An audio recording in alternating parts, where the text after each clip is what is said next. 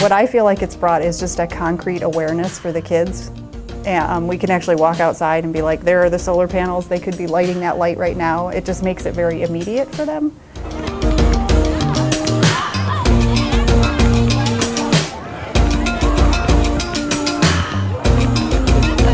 They love the, the science kits that came with the grant. We had a one-day training that a number of teachers attended, and so when we pull out the solar car, we'll pack it, and they get to try to see if they can make some, make design a car and make it run off a solar panel, and we can just walk right outside our door.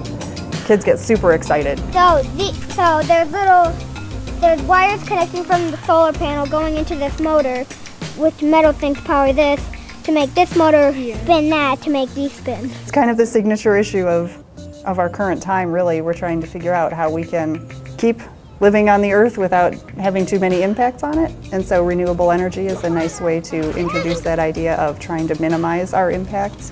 That's, I think, my goal is to just have them think about what types of energy they use and what resources they use and are there ways we could be wiser with those.